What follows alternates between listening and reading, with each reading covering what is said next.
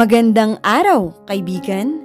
Handog namin ay mga kwento ng pag-ibig, nakikiliti sa inyong mga puso at magbibigay ng inspirasyon. Pero kung bago ka pa lamang sa aking channel, ay pakilike po ng aking video at pakiclick ng subscribe button, gayon din ang bell icon para lagi kang updated sa mga paparating pa na-upload.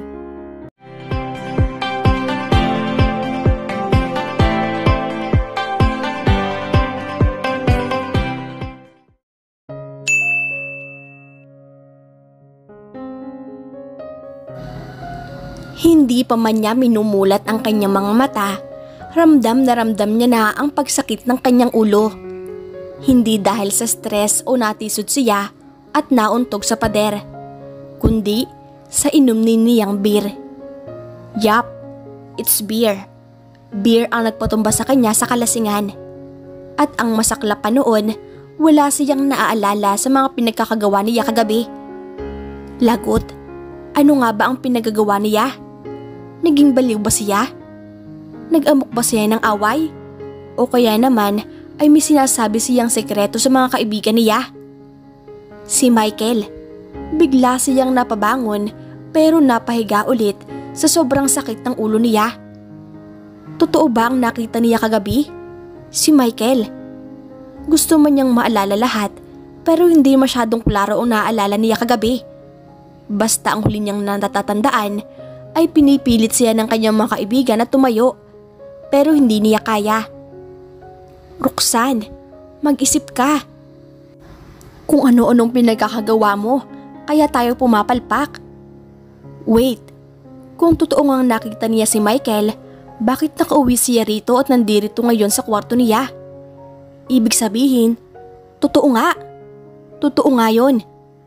Anong ipapaliwanag niya sa mga kaibigan niya? Sinabi ba ni Michael na magkasama sila sa isang bahay? Baka nagdududa na ang mga kaibigan sa kanya. Lagot talaga siya nito. Lagot na. Pati rin pala ang ate niya. Kapag nalaman ito, isusumbon din kaya si ni Michael sa ate niya? Pero kailangan niya munang makausap si Michael kung ano ang nangyari. Tama, iyon ang gagawin niya. Dahan-dahan siyang bumangon. Kailangan dahil papasok pa siya sa trabaho. Pinilit niya ang kanyang sarili na maghanda. Kita pa lang ang mukha niya sa lamin para siyang tumambay sa lansangan ng buong araw. Pagkatapos niyang maligo at ginawa ang palagi niyang ginagawa, lumabas na siya sa kwarto. Nandoon na rin si Michael at as usual, ito naman ang naghanda ng agahan nila. Lumapit siya at binati ito ng magandang umaga. Tumango lamang ito at nagpatuloy sa pagtitimpla ng kape. Umupo siya pero sapo pa rin ang ulo niya dahil sumasakit. Nilapag nito ang tinimplang kape sa harap niya. Drink para humupa ng konti iyang hangover mo. Sabi nito sa kanya. Thank you po. Kinuha niya ito at uminom. At least humupa ng konti ang sakit ng ulo niya. Grabe, ito pala ang feeling na may hangover. Nalasing ka na nga, masakit ang ulo at wala pang naalala. Anong pinagkakagawa kagabi? That's right, kagabi. Kailangan pa pala niyang itanungin ito. Ito ba mismo ang sumundo sa kanya? Boss, pwede bang magtanong? What is it? Umupo ito sa harap niya. Ba't pansin niyang gwapo nga ito ngayon? Lakas yata ng tama sa kanya ng alak. Nakakaasiwang tingnan dahil sa mukha nito. Hindi ko kasi matandaan kung anong nangyari kagabi. Pero kayo po ba ang sumundo sa akin kahapon? Tumingin lamang ito sa kanya. Hindi ko sure kung anong naalala ko kahapon. Pero wala namang akong alam sa mga kaibigan ko kung saan ako nakatira. At ikaw at ang mga kapitbahay mo lang ang may alam nitong village. So, yeah, sinundo kita. What? Pero napasa po na naman siya sa kanyang ulo. Ayan, sumigaw ka pa. Iyan ang napapala mo. Bakit? Papaano? You called me. Nag-iisip siya. Wala naman siyang natatandaan at tinawagan niya ito. At bakit naman siya tatawag dito para magpasundo? We, check your recent calls. Sa phone mo kung hindi ka naniniwala. I don't understand what you're saying that night. Pero ang kaibigan mo na ang kumausap sa akin. Lagot na talaga siya nito. Anong sinabi niya? Anong sinagot mo? She said na hindi nila alam kung saan ang address mo at pinakausapan ako na sunduin ka. So I did. Pero, papaano ako nakauwi? Anong nangyari sa kanila? I invited them. Inihatid ko rin sila pa uwi. Ano? Lagot. Ano kayang iniisip nila? Anong paliwanag niya nga sabihin ko? Lagot na talaga siya. Papaano niya ito sabihin na nakatira siya sa boss nila? Paano ako nakarating dito? I've told you, sinundo kita kasama ng mga kaibigan mo. Hindi pwede. How? You're already here. Nasundo na kita. So what's the problem? Ang ibig ko lang naman sabihin, besides, who told you to drink alcohol and got drunk? If you told me na may inuman pala iyang dadaluhan mong celebration, binigyan na sana kita ng curfew. Hindi ko naman sinasadyang malasing. Napayo ko na lamang saya siya sa hiya at pagsisisi. Pinapagalitan na siya ng boss niya. First of all, you're in my house. So understandable that you're under my care. Actually, I was going to say that if you're living in my house, you have to follow some rules. Pero hindi ko ginawa. But today, nagsisisi ako sa hindi ko ginawa. Sorry po. Papaano kung ate mo ang tinawagan mo? Inulan ka na ng sarmong kagabi pa. Sorry po talaga sir. I'm disappointed of your actions that night.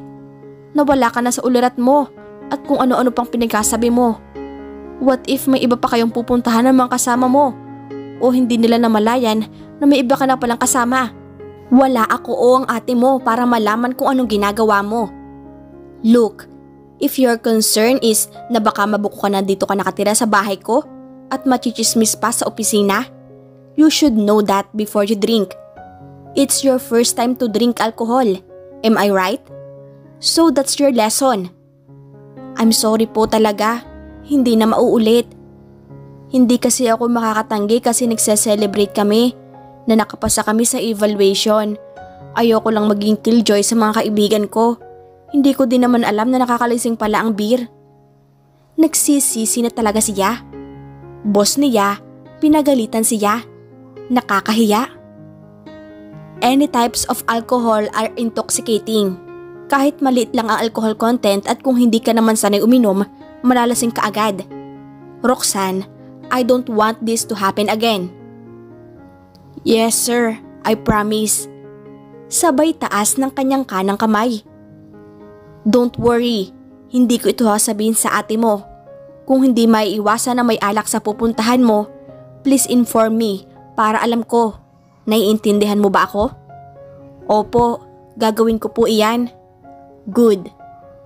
Tumayo ito. Lumapit ito at inilagay ang kamay nito sa kanyang ulo. Don't worry. They may be in shock na nakita nila ako. But I made an excuse na ihatid kita sa sundo mo pagkatapos ko silang ihatid lahat. Now eat your breakfast. Baka malate ka pa sa trabaho. Willie is very strict about time. And don't forget to take some medicine kung hindi ka pa rin humuhupa ang sakit ng ulo mo. Pagpasok nito sa kwarto, napasa po siya sa kanyang mukha. Nakakahiya talaga. Nagsisisi na siya bakit siya nasing.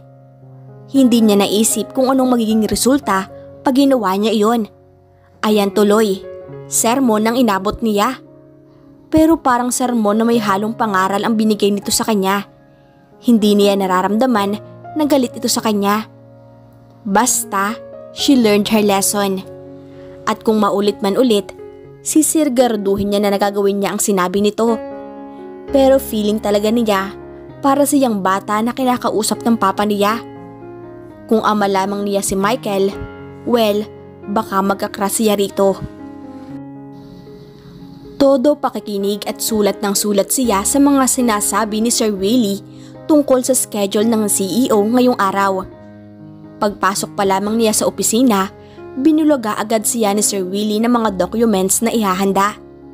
Literally, as in tambak.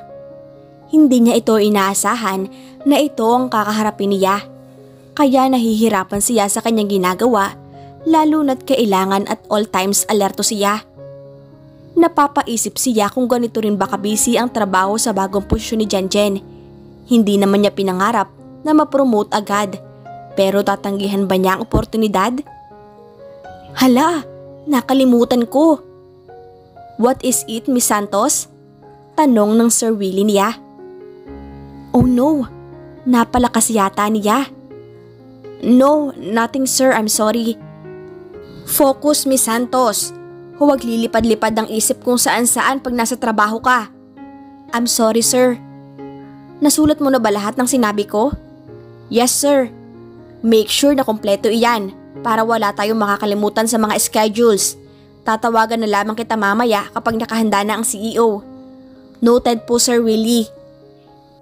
Hindi naman lumilipad ang isip niya. Nakalimutan lang niyang ibalita sa ate at mama niya na nakapasaya siya sa evaluation. Papaano naman kasi nalasing siya kagabi kaya nakalimutan niya o hindi niya nakayanan ang kalasingan niya. Pagbalik niya sa kanyang lamesa, napabuntong hininga na lamang siya nang makita ang daming-daming mga papel ang kailangan niyang ayusin. Tapos may meeting pa mamaya. Bago pa lamang siya sa ganitong trabaho, bawat instruction ng boss niya, dapat palagi siyang naka-yes sir. Kung hindi, pagsasabihin ka na hindi seryoso sa trabaho niya. Gaya kanina na hindi niya sinasadyang magsalita Akala na nito ay hindi siya nakikinig. Talagang ang istrikto nga ito. Oh well, ganyan talaga pag empleyado ka. I guess, just do what you have to do. Kaya nagpatuloy siya sa kanyang pagtatrabaho. Encode dito, ayos doon. Minsan, kailangan pa niyang bumaba at ihatid ang mga files at babalik din naman sa opisina para ihatid kay Sir Willie. Kumbaga, taas baba siya. Paulit-ulit na kumikirot na ang kanyang tuhod at paa dahil sa kalalakad. Baka susuko na rin itong sapatos niya. Mukhang bibili niya yata siya ng bagong sapatos nito. Dala-dala ang mga dokumento, bumaba siya at ibinigay sa isang department ang kailangan nito mga documents. Pero pagbalik naman niya, sobrang dami naman niyang dala na halos hindi na siya makalakad ng maayos. Hi Roxanne, ayos ka lang? Nagkita silang dalawa ni Jenjen. Mukha ba kung ayos sa lagay na ito? Wow, halatangang hindi. Ang dami mo namang dala. Para saan ba yan? Pinapadala galing sa isang department. Dapat daw mapermahan ni Sir Willie ang mga ito. Inis ako nang dalhin para hindi na ako pababa ulit dito. Ikaw, Anong ginagawa mo dito? Kumusta ang trabaho? Maayos naman. Nakatoka ako sa pag-aayos ng mga receipt forms. Madali lang naman ako nakatapos. Kaya hindi ako masyadong busy. Naku, buti ka pa. Bakit? Pinaparamdam na ba ni Sir Willie ang pagka-istrikto niya sa'yo? Tanong nito. Sobra pa. Kung hindi ka marunong makinig, sesermonan ka ng di oras.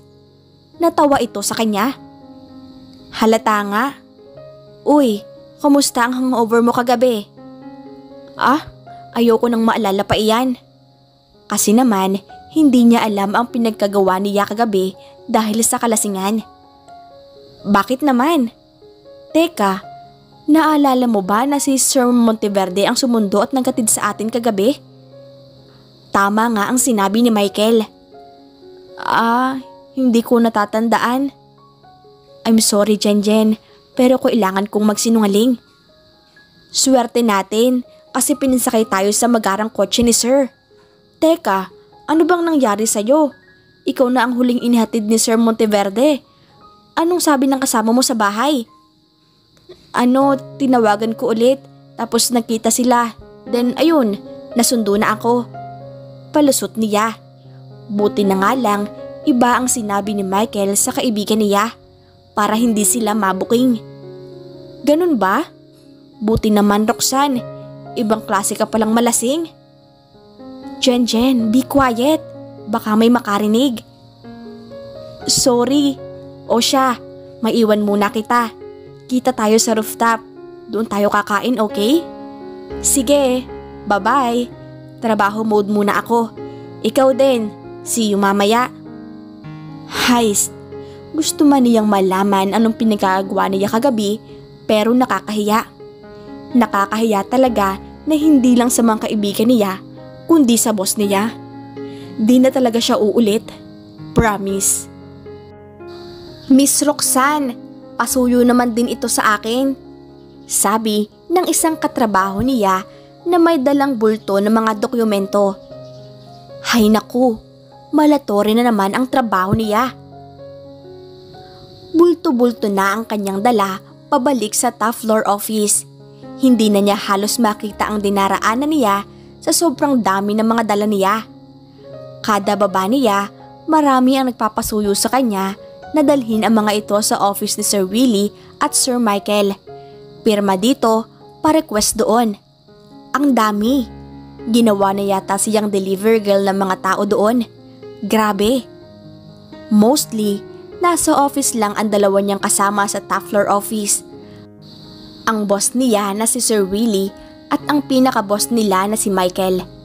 Pero mas labas-masok siya sa office ni Sir Willie dahil assistant in training siya nito at kung ano ang trabaho nito, binibigyan din siya para daw mas madali siyang matutunan sa trabaho.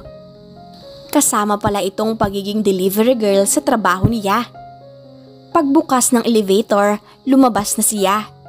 Ilang hakbang pa lamang niya, hindi niya namalayan na may nasagi pala siya sa isa kanyang kanan. Natalisod siya at lumipad halos lahat ng mga papel na dala niya.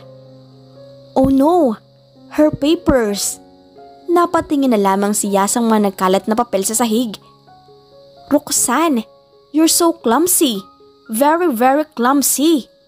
Sabi niya sa kanyang sarili. Napailing na lamang siya at iniisa-isang niligpit ang mga papel.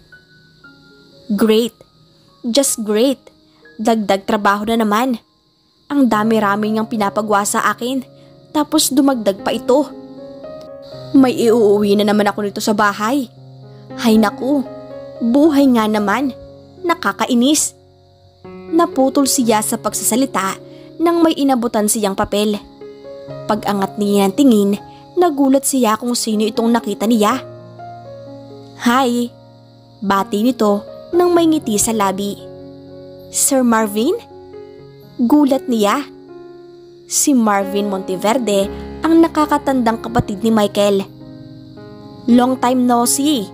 I'm glad na natatandaan mo pa ako. Mukhang stress ka yata.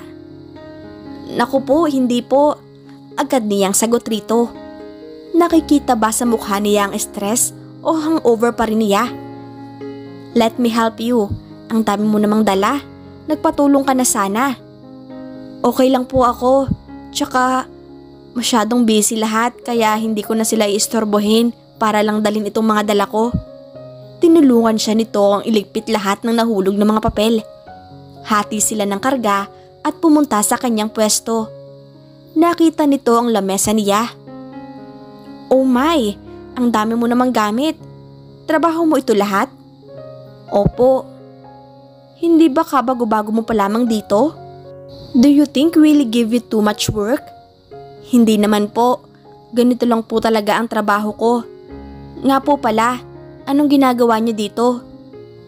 Remember na sinabi ko kung bakit ako umuwi. I and Michael are finally talk about that. And it's my first day of work. Talaga?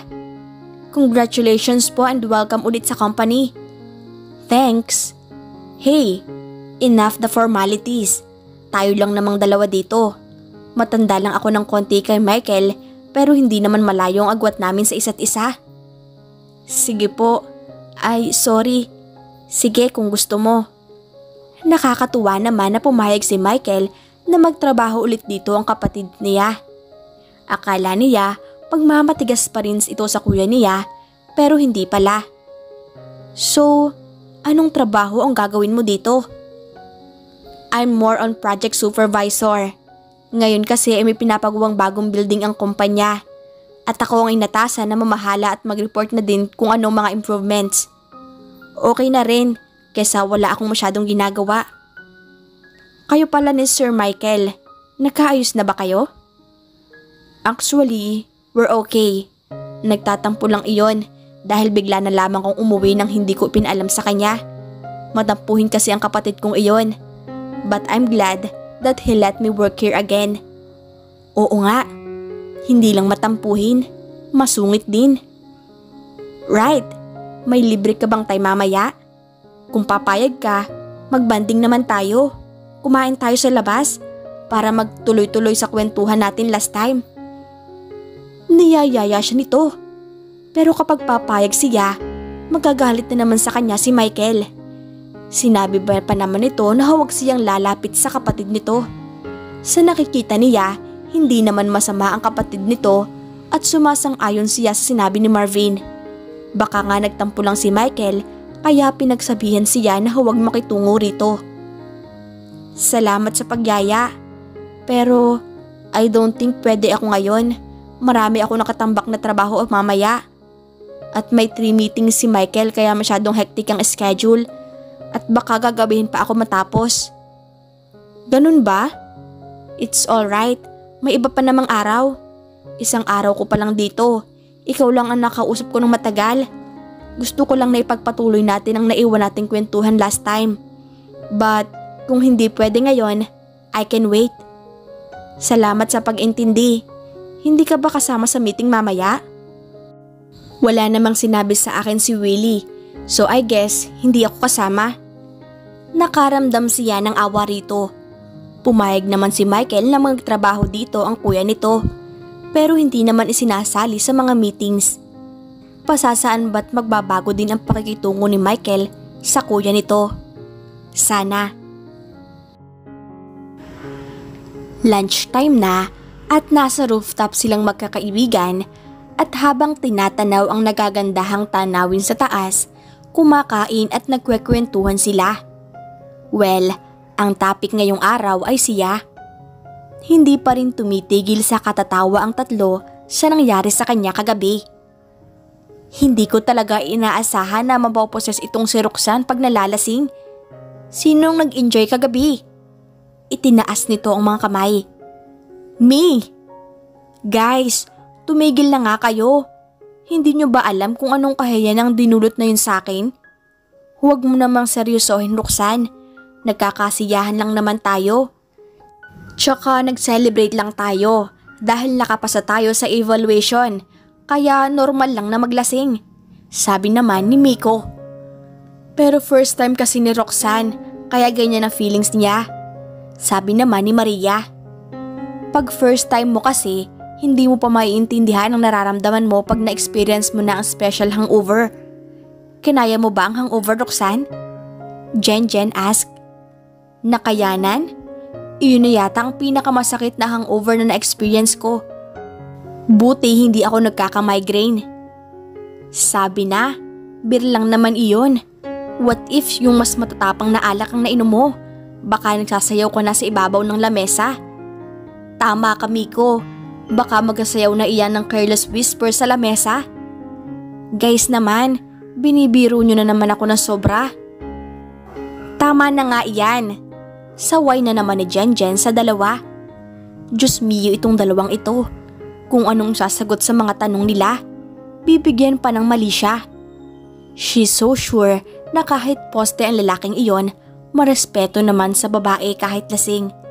Kaya nga hindi pa iniiwan ng asawa, kahit talayasan na ito. Kinabukasan, balik na naman siya sa trabaho. Oras na rin ang meeting ni Michael kasama ng mga bisita sa meeting room. Habang nagpe-present ang iba, busy naman sa kaka-encode ng mga importanteng bagay. Importante daw ito kesa nakabase lamang sila sa mga nababasa nilang dokumento. Miss Santos, bulong sa kanya ni Sir Willie. Nasaan ang isa pang files na pinapahanda ko? Hinalungkat niya ang mga dala niyang files. Nagtataka siya. Bakit kulang ang nandito? Kumpleto naman lahat ang dala niya kanina. Dinoble check pa nga niya. Papaano nangyari ito? Sir, I'm so sure na kompleto po iyan bago ako dumating dito. Then, where is it kung kompleto ito? I'm so sorry sir. Ikukuha ko ko agad sa office. Agad siyang nag-excuse at dali-daling lumabas papunta sa office. Nakakainis. Nasisigurado siyang wala siyang nakalimutang dalhin ng mga files before the meeting. Double check or triple check pa niya iyon. At napaka-imposible naman na hindi iyon napasama. Nasa top floor office na siya. Hinalungkat niya ang mga papel na nasa kanyang lamesa. Bahala nang magkalat siya basta't mahanap lamang iyon. Ilang minutong paghahanap, nakita na rin niya ang hinahanap niya. Bakit ito nandito? Imbes sa file drawer o sa lamesa niya nakalagay, nakita niya ito sa basurahan. Kailanman ay wala siyang itinapon na kahit anong dokumento o papeles ng kanyang kumpanya. Pero bakit nandito ito? Nasa basurahan. No time. Mamaya niya na ito imbestagahan kapag natapos na ang meeting. Kailangan na niyang makabalik sa meeting. Pababa na siya at palapit na sa office nang makita niya si Stacy. Ang ayaw na ayaw sa kanya. Kakapromote mo lang, late ka?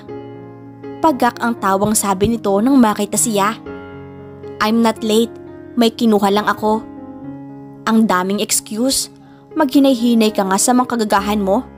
Baka magsawa ang mga boss natin sa'yo. Di ba nandyan ka naman sa posisyon na yan dahil may connection ka? What? Tumaray ito sa kanya at nagsalita. Huwag ka na nga magpanggap. Do you think dahil wala kang kinukwento, walang malalaman? Tanungin kaya kita. Kapatid mo si Irene Santos, hindi ba? Ang dating sekretary ni Sir Monteverde? Papaano ito nalaman ito? Sa pag-aakala mo ba hindi ko malalaman? Sinabi ko na mag-ingat ka sa mga galaw mo. Ayan kasi, hindi mo sinoseryoso ang sinabi ko. Well, iyon lang. Ingat sa work. Tumalikod na ito at naglakad papalayo. Papaano? Paano na ito? May alam na ito tungkol sa kanya. Tanghali na at tirik ang araw. Nandito siya sa construction site ng pagtatayuan ng bagong commercial site ng kumpanya. Kasama niya ang kanyang mga boss. Si Sir Willie, Sir Michael at Sir Marvin. Dahil si Marvin ang natasan sa pag-manage ng mga construction projects, kasama ito ngayon para tingnan kung ano ang mga improvements na natatapos na. Sa nakikita niya, Mukhang hindi pa pagkakaunawahan ang dalawang magkapatid. Ang gusto ni Michael ay gawin ang ganito. Pero hindi naman sumasang-ayon si Marvin dahil may cons sa gusto nitong mangyari. Ganyan naman talaga ang magkapatid. May panahon na nagkakaintindihan kayo pero may mga araw din naman na gusto nyong magrambulan. Napapailing na lamang si Sir Willie sa pagtatalo ng dalawa. Nasa likod lamang siya ng mga ito kung ang tatlo ay busy sa pag-uusapang trabaho, siya naman ay hindi mapalagay dahil sa sinabi ni Stacy tungkol sa kanya. Sinabi nito na alam nito ang ate Irene niya ang dating sekretary ni Michael. Papaano kaya nito nadiskubre? Halata ba dahil sa mga dating empleyado na nakakilala sa kapatid niya? Nakita nito ang documents tungkol sa ate niya magkapareha sila ng apelyido. O di kaya naman may malapit na kapitbahay o nakakakilala sa kanya na hindi niya alam. Ang daming tumatakbo sa isip niya. Sa ugali ng babaeng iyon, may posibilidad na gagamitin nito ang nalalaman para masira ang pangalan niya sa trabaho. In the first place, ang babaeng iyon pati ng mga kasamahan nito ay ayaw na ayaw sa kanya. Hindi niya kailanman magagawang mang-apak ng tao para magig number one. Pero ganoon na talaga ang ugali ng mga tao na yon. Kada kilos mo, binibigyan ng mali siya. Ngayon na alam na nito ang katotohanan, hahayaan ba niya na ito mismo ang magsabi at ipagkalat sa buong department? Papaano ang mga kaibigan niya? Ni Katiting ay wala itong alam dahil hindi siya nagkukwento tungkol dito. Iniisip pa lamang niya ang magiging resulta, kinakabahan na siya lalo. Baka kung ano na ang isipin ng mga iyon sa kanya. Nakakatakot pero dapat mag-isip na siya ng paraan para maresolba agad ang problema na ito. Kung hihingi kaya siya ng tulong kay Michael, mukhang malabo. Tingnan mo naman kung anong ginagawa nito kasama ang kapatid. Ni hindi na nga maipinta ang mukha nito dahil ang gusto nito ay ayaw naman ng kuya niya. At ano naman ang itutulong ni Michael sa problema niya? Pagsasabihan ng lahat ng empleyado na wala siyang kasalanan? Masyado namang bias iyon. Parang ipinapakita lamang niya na malakas nga siya sa itaas, sa boss niya. At ginagamit nga niya ang pagiging former secretary ng ate niya sa kanyang pinagtatrabahuhan. Mas mabuti nga na huwag isali si Michael sa problema niya at huwag kasabihin ito sa ate niya. Problema niya ito ala't alam niya sa sarili niya na kaya niya itong resolbahin ng mag-isa. Tiwala lang.